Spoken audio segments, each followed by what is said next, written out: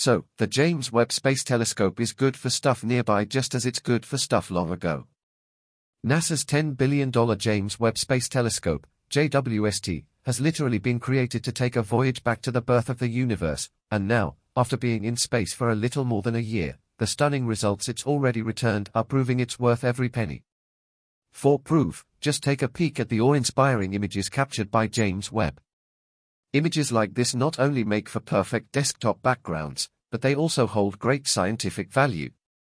Join us as we dig into the James Webb Telescope's first ever real images before the Big Bang.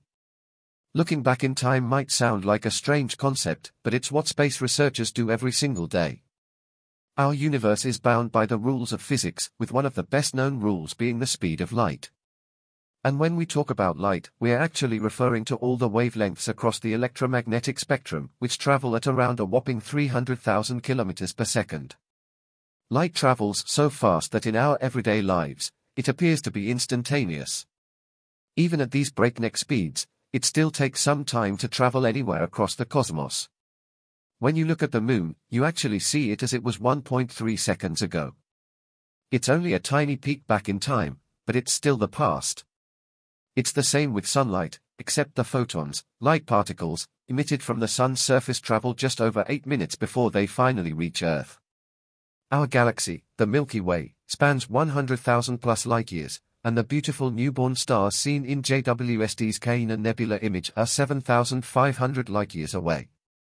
In other words, this nebula as pictured is from a time roughly 2,000 years earlier than when the first ever writing is thought to have been invented in ancient Mesopotamia. Anytime we look away from the Earth, we're looking back in time to how things once were. This is a superpower for astronomers because we can use light as observed throughout time to try to puzzle together the mystery of our universe. Space-based telescopes let us see certain ranges of light that are unable to pass through Earth's dense atmosphere. The Hubble Space Telescope was designed and optimized to use both ultraviolet, UV, and visible parts of the electromagnetic spectrum, the JWST was designed to use a broad range of infrared light, and this is a key reason the JWST can see further back in time than Hubble. Galaxies emit a range of wavelengths on the electromagnetic spectrum, from gamma rays to radio waves and everything in between. All of these give us important information about the different physics occurring in a galaxy. When galaxies are near us, their light hasn't changed that much since being emitted, and we can probe a vast range of these wavelengths to understand what's happening inside them but when galaxies are extremely far away, we no longer have that luxury. The light from the most distant galaxies, as we see it now, has been stretched to longer and redder wavelengths due to the expansion of the universe. This means some of the light that would have been visible to our eyes when it was first emitted has since lost energy as the universe expanded. It's now in a completely different region of the electromagnetic spectrum. This is a phenomenon called cosmological redshift, and this is where the JWST really shines. The broad range of infrared wavelengths detectable by JWST allow it to see galaxies Hubble never could. Combine this capability with JWST's enormous mirror and superb pixel resolution, and you have the most powerful time machine in the known universe. Using the JWST, we will be able to capture extremely distant galaxies as they were only 100 million years after the Big Bang, which happened around 13.8 billion years ago. So, we will be able to see light from 13.7 billion years ago. What's about to hurt your brain, however, is that those galaxies are not 13.7 billion light-years away. The actual distance to those galaxies today would be roughly 46 billion light-years. This discrepancy is all thanks to the expanding universe and makes working on a very large scale tricky. The universe is expanding due to something called dark energy, Dark energy is thought to be a universal constant acting equally in all areas of spacetime, the fabric of our universe. And the more the universe expands, the greater the effect dark energy has on its expansion. This is why, even though the universe is 13.8 billion years old, it's actually about 93 billion light-years across. We can't see the effect of dark energy on a galactic scale within the Milky Way, but we can see it over much greater cosmological distances. Working like a time machine, the first images shared by this powerful telescope on July 12 showed us far-off galaxies, the death of stars, and the atmosphere of planets outside our solar system. Now, over a year after it was launched, James Webb has gifted scientists and all humankind with new breathtaking images from space. This time, offering us insight into how stars are born. This is Cassiopeia A, a supernova remnant located 11,000 light-years away that spans 10 light-years across. The Webb image contains all the chaos and beauty you would expect from the remnants of an exploded star, including cosmic material glowing orange and red due to emission from warm dust. In these areas, material ejected by the exploded star has smashed into the surrounding material. The knotted filaments that appear pink in the image are material from the star itself, shining due to the presence of heavy elements and dust emission. This image of Uranus was captured by the James Webb Space Telescope on the 6th of February 2023 and shows an amazing view of the planet's ring. The bright region on the right side of the planet is Uranus's polar cap, which is unique to Uranus because it is the only planet in the solar system that's tilted on its side, causing extreme seasonal changes. The latest deep field image captured by the James Webb Space Telescope shows a region in deep space known as Pandora's Cluster or Abell 2744. It reveals the intricate structures of three galaxy clusters together forming a so-called megacluster in detail never seen before by astronomers. The image of Pandora's cluster is a panoramic composed of four individual JWST images sewn together. One noteworthy feature of the image is that it displays gravitational lensing, where the mass of the galaxy clusters is warping and distorting the light for more distant galaxies. In this way, the galaxy megacluster is acting like a cosmic magnifying glass, enabling astronomers to see the distant galaxies more clearly. This image, captured by the James Webb Space Telescope, shows thousands of distinct galaxies and covers an area of the sky just 2% of the area covered by the full moon. The faintest objects in the image are about 1 billion times fainter than what can be seen with the naked eye. This is referred to as a medium deep wide field image. Light from the most distant galaxies has traveled almost 13.5 billion years to reach us. JWST's latest image is of a protostar embedded within an hourglass-shaped cosmic cloud.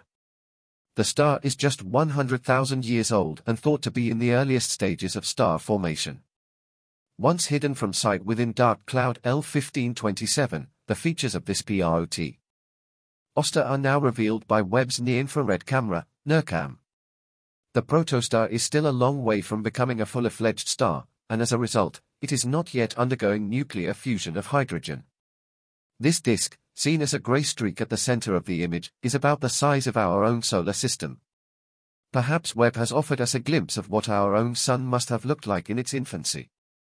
Amazingly, JWST also spotted galaxies from the first 350 million years after the Big Bang. That makes these the earliest galaxies ever observed, and they had some surprises in store, such as being far brighter than expected. That means there's more for us to learn about how galaxies form in the early universe.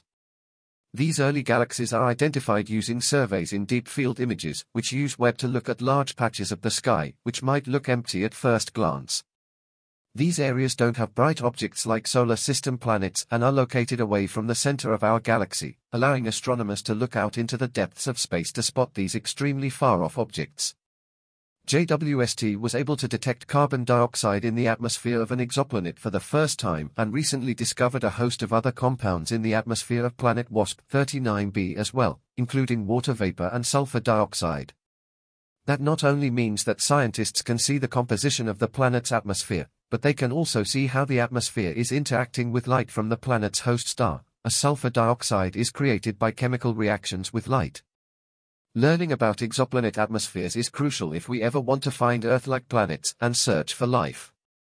Previous generation tools can identify exoplanets and determine basic information like their mass or diameter and how far they orbit from their star, but to understand what it would be like to be on one of these planets, we need to know about their atmospheres. With data from JWST, astronomers will be able to look for habitable planets far beyond our solar system. It's not only distant planets that have been getting JWST's attention. Closer to home, JWST has been used to study planets in our solar system, including Neptune and Jupiter, and will soon be used to study Uranus as well. By looking at the infrared range, JWST was able to pick out features like Jupiter's auroras and a clear view of its great red spot, and the telescope's high accuracy meant it could view small objects even against the brightness of the planets, such as showing Jupiter's rarely seen rings. It also took the clearest image of Neptune's rings in more than 30 years. Another major investigation JWST performed this year was of Mars. Mars is the best studied planet outside Earth, having played host to numerous rovers, orbiters, and landers over the years. That means astronomers have a fairly good understanding of its atmospheric composition and are beginning to learn about its weather system. Mars is also particularly difficult for a sensitive space-based telescope like JWST to study because it is so bright and so close, but those factors made it the perfect testing ground to see what the new telescope was capable of. JWST used both its cameras and its spectrographs to study Mars, showing the composition of its atmosphere, which matched up almost perfectly with the expected model from current data, showing how accurate JWST's instruments are for this kind of investigation. Another aim of JWST is to learn about the life cycle of stars, which astronomers currently understand in broad strokes. They know clouds of dust and gas form knots that gather more material to them and collapse to form protostars, for example, but exactly how that happens needs more research. They are also learning about the regions where stars form and why stars tend to form in groups. JWST is particularly useful for studying this topic, as its infrared instruments allow it to look through clouds of dust to see inside regions where stars are forming. Recent images are showing the development of protostars and the clouds they throw off and are looking into the regions of intense star formation, such as the famous pillars of creation in the Eagle Nebula. By imaging these structures in different wavelengths, JWST instruments can see different features of dust and star formation. Speaking of the pillars of creation, one of JWST's biggest legacies in the mind of the public is the stunning images of space it has captured. From the international excitement at the reveal of the telescope's first images in July to new views of iconic sites like the pillars, Webb images have been everywhere this year. As well as the gorgeous Carina Nebula and first deep field, other images worth taking a minute to wonder over include the star-sculpted shapes of the Tarantula Nebula, the dusty tree rings of binary star Wolf Rayet 140 and the otherworldly glow of Jupiter in the infrared, and so on. In short, we live in a remarkable time of technology. Just 100 years ago, we didn't know there were galaxies outside our own. Now, we estimate there are trillions, and we are spoiled for choice.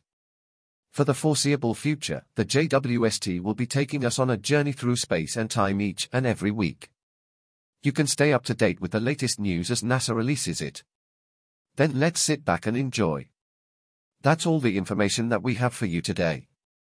Don't forget to give us a thumbs up if you enjoyed today's episode, subscribe if you haven't already, and hit the bell so you never miss out on future episodes.